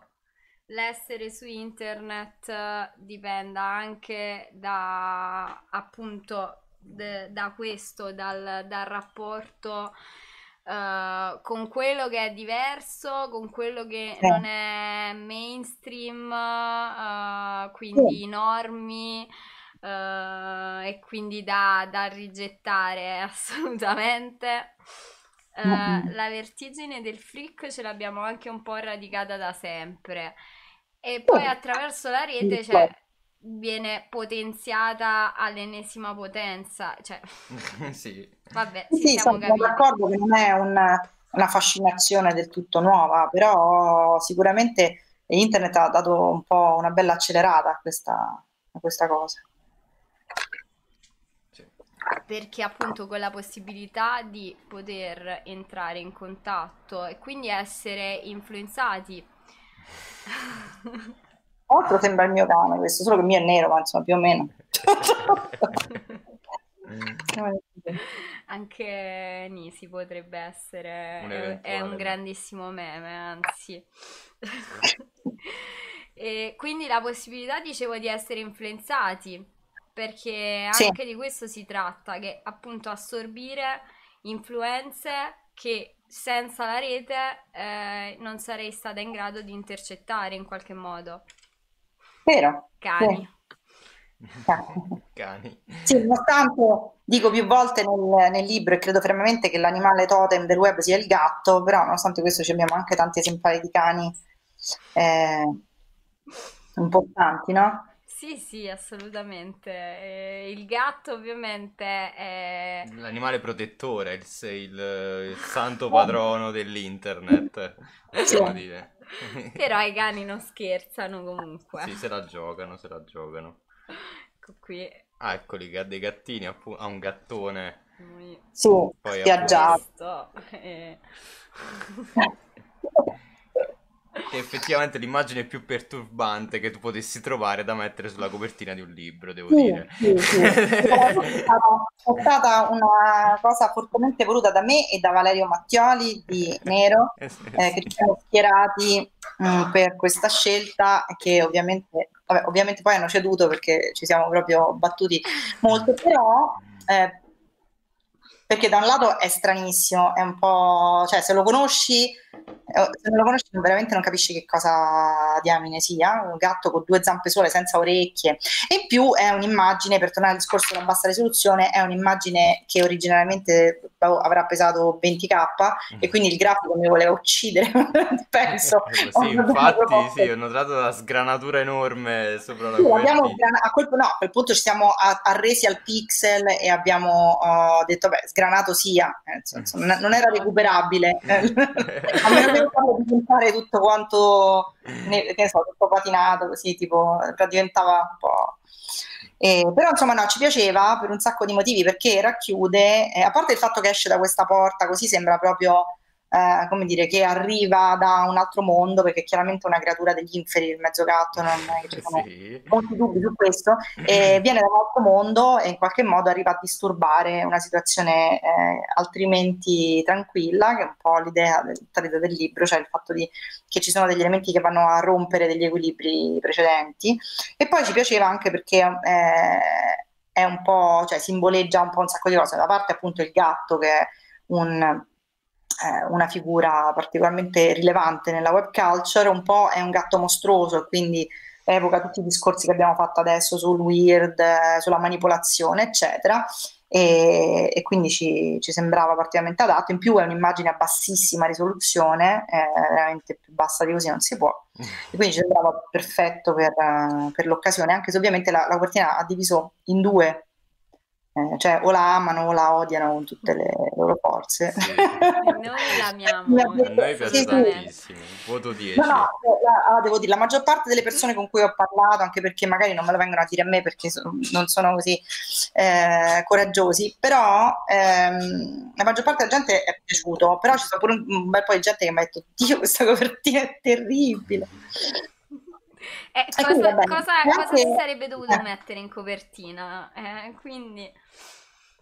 Non c'era, non c'era dubbio, cioè, eh, nonostante avessi a disposizione eh, tramite appunto la raccolta, il database del Wall of Memes, qualcosa come 10.000 immagini, quella mi è sembrata l'unica giusta. Che descrivesse appunto appieno tutto il libro. Abbastanza bene, sì. ok, ma noi abbiamo altre domande da fare? Mm, altre domande riguardo al libro? Saprei, in chat c'è qualcuno, qualcuna... Se in chat ci sono domande, ovviamente fatele, così uh, concludiamo con uh, le vostre domande. E spero che tu ti sia divertita qui su Twitch, sul social dei, dei zoomer. Il social più zoomer della... ora in circolazione, sì. insieme a TikTok ovviamente. Sì in, questa, in questo layout uh, fluido. e sì, sì, no, mi, trovo, mi trovo benissimo. Eh, scusate, sono, a quest'ora comincia a essere un po' cotta perché mi sono alzata un orario improbabile, però... sì. no, no, assolutamente, infatti. Ecco. però però ci sono, se avete qualche domanda sono a disposizione. Um, allora, noi non credo, credo che sì, se, penso che abbiamo esaurito, abbiamo, abbiamo, parlato veramente di tutto. Siamo rimbalzati da una tutto. parte all'altra del libro. Sì, in chat appunto... Una domanda tecnica. Cosa ne pensi sì, del meme, meme loss? loss? Uh, non lo so se l'ho capita. Forse meme, mi manca un il meme loss. Il meme loss dovrebbe essere quello che è, mm, se non sbaglio, eh, non voglio sbagliarmi, uh, quello del, del mettere ah, ok, no, e alla fine No, forse è quello, no, è quello lì. No, è quello della vignetta con il tipo nell'ospedale, quella lì? No, ho capito male. Loss. Loss. Il meme lo... Sì, sì, è quello che dicevo io, cioè delle immagini uh, verticali, le due immagini verticali e una orizzontale che poi vabbè si è memato molto con il, um, l'algoritmo di Facebook Aspetta che, che censurava. Oh, sì, sì, sì, era quello che dicevo io, sì, ah, sì, ok. Ok, ok. Ok, ok. E vabbè, eh, n- non è uno dei meme che conosco meglio, eh, però ovviamente l'ho visto, mi ci, sono, mi ci sono imbattuta varie volte ed è uno dei più sofisticati, nel senso che è uno dei meme spesso che, di quelli che se non hai il background non riesci assolutamente a capire eh, che, che, che, cosa stia succedendo ed è stato tra l'altro rielaborato in modi anche eh, estremamente concettuali, non so, ce n'era uno soltanto con delle linee, non so se ricordate, solo linee verticali, linee orizzontali, un altro che lo riconoscevi dalla palette così, però insomma lì dovevi essere proprio molto addentro al, alla, alla, conversazione dei meme, però sì, non è appunto un, un, non, non, sono una grande esperta di questo meme, però sicuramente è interessante per quel poco che ho intercettato. E però ci vuole dire di meta meme non è la vignetta ad essere importante, ma il metameme, cioè riprodurre sempre quello stesso sistema di orientamenti. Infatti dicevo con l'algoritmo di Facebook eh, censurava, censurava perché eh, riguardava per l'11 settembre, quindi le due torri... anche appunto riprodotto in chat. Bene, Castelluccia. top mematrice. Eh. Vabbè, dai, è, fam- è famoso comunque, quindi... Um, ok, quindi meme preferito, avevi già risposto la, la ragazzina con... Ma guarda, ne ho, ne ho tantissime. sicuramente sì, la, la, Disaster Girl è una dei, miei, uno dei miei preferiti, però ce ne sono talmente tanti che mi viene molto difficile da, da rispondere, eh, francamente non lo so, cioè, non, non, quello sicuramente è uno dei miei preferiti, di sicuro. Okay. Eh, okay. È la mia sicuro, sicuro però non, non, so, ne ho veramente eh, ne ho amati tanti come tutti, insomma, quelli che seguono poi il panorama. E, però comunque se volete vedere, eh, avere un'idea, de, de, basta che vai, andate su appunto su Great Wall of Memes, li ho collezionati gelosamente tutti quanti, quelli che mi sembravano interessanti. Ah, io intanto rimando intanto, okay. i link. Rimandiamo i link appunto. Ecco. Allora, se volete acquistare Meme Estetica potete acquistarlo qui al link che vi stiamo mandando in chat. Uh, poi appunto Intanto Valentina ci mostra le sue bellissime figurine. Io, sì, eh, eh, Sta, ma perché perdo sempre? Dov'è? Sì, è tipo qui. Poi c'è il suo appunto la sua raccolta The Great Wall of Memes eh, dove potete appunto vedere anche i suoi meme preferiti eh, in continuo aggiornamento. Sì. Sì. E poi e infine il, il suo sito. sito internet dove è possibile trovare vari progetti. Ok. Sì.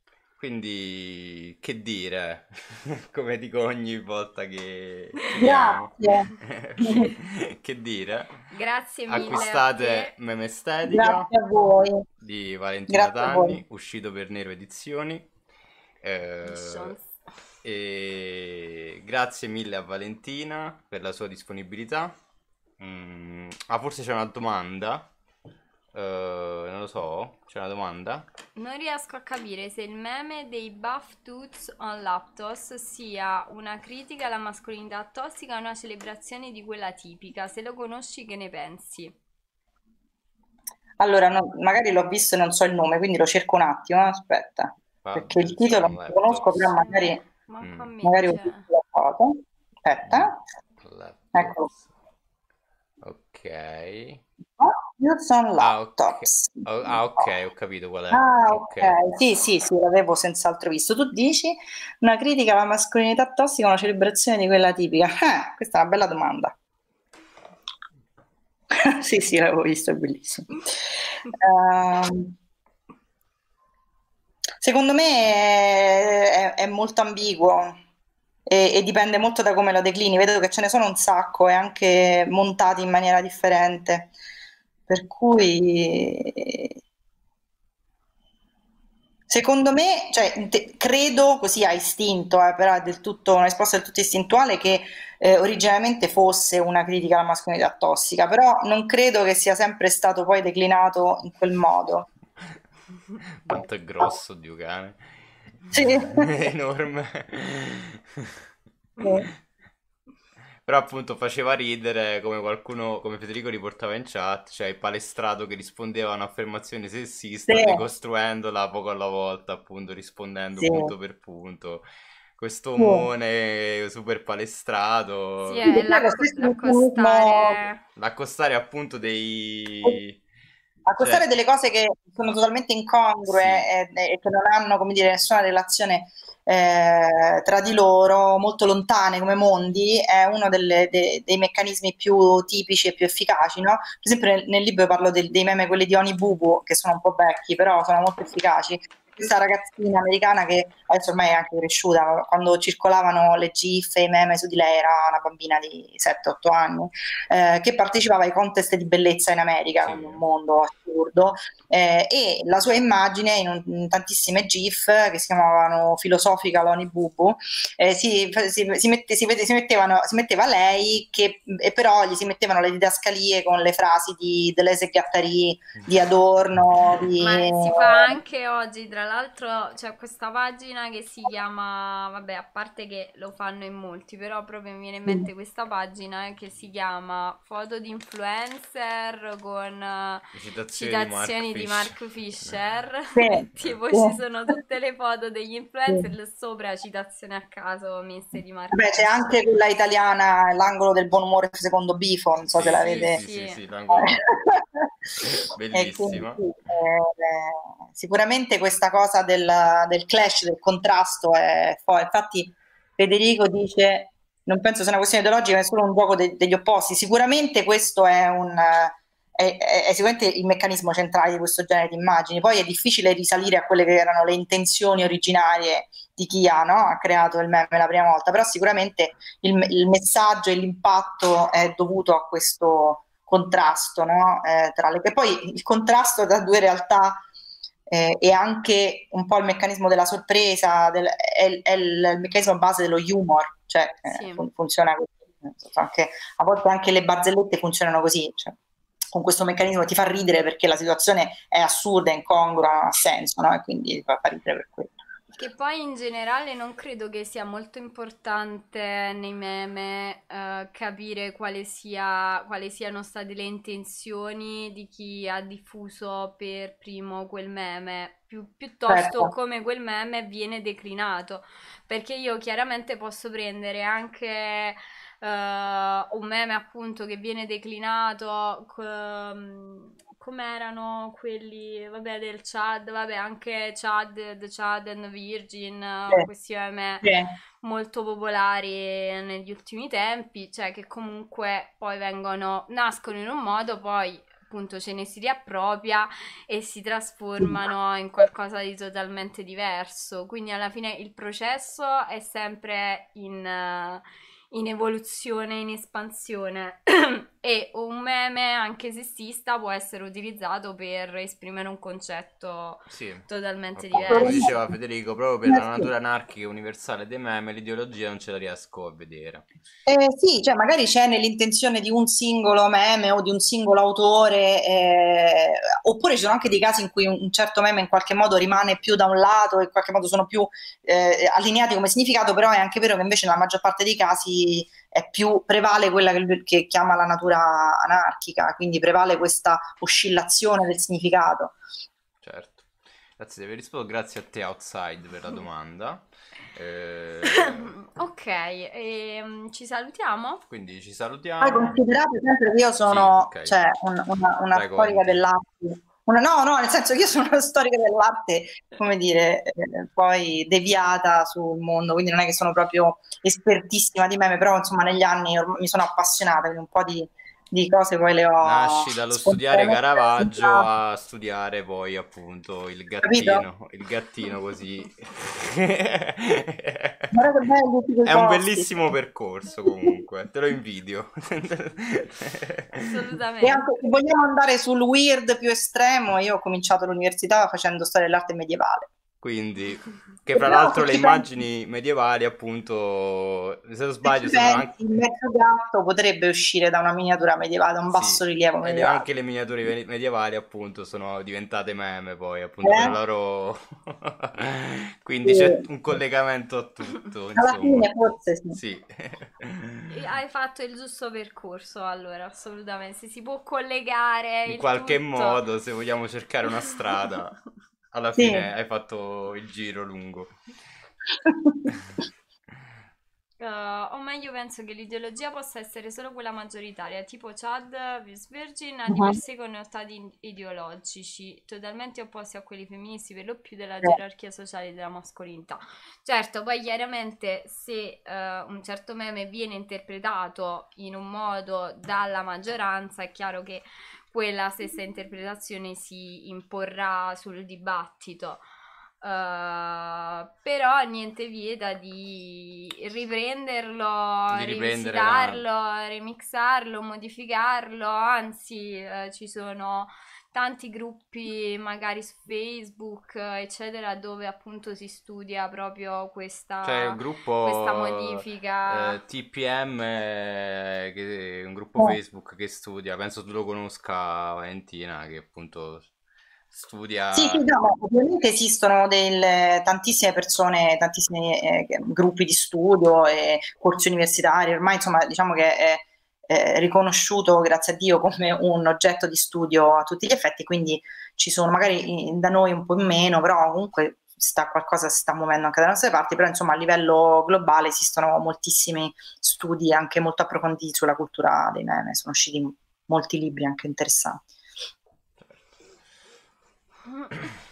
Beh, perfetto, Beh. quindi direi che stavolta ci salutiamo e quindi... Stavolta. Stavolta, cioè nel senso abbiamo detto più volte che chiudevamo. Eh, perché quindi... ovviamente se arrivano Poi domande... sono, sono arrivati vari spunti. E eh, vabbè, uh, giustamente. Ok, va bene. Allora ci salutiamo, ci vediamo lunedì qui per uh, la nostra solita puntata del lunedì. Del lunedì. Su attualità, attualità eccetera. E... E grazie mille a chi ci ha seguito, grazie mille ancora a te Valentina. Valentina. Se... Grazie mille. Se vuoi dire qualcosa, non so No, penso, penso di aver parlato abbastanza, okay. per cui spero che sia stato divertente, per me lo è stato. E... Ci fa molto niente. piacere. Vediamo la prossima. Ci fa molto piacere. Buonanotte. Acquistate Memestetica e... Memestetica e diventate memers. Anche voi. Buonanotte. Buonanotte. Ciao, buonanotte.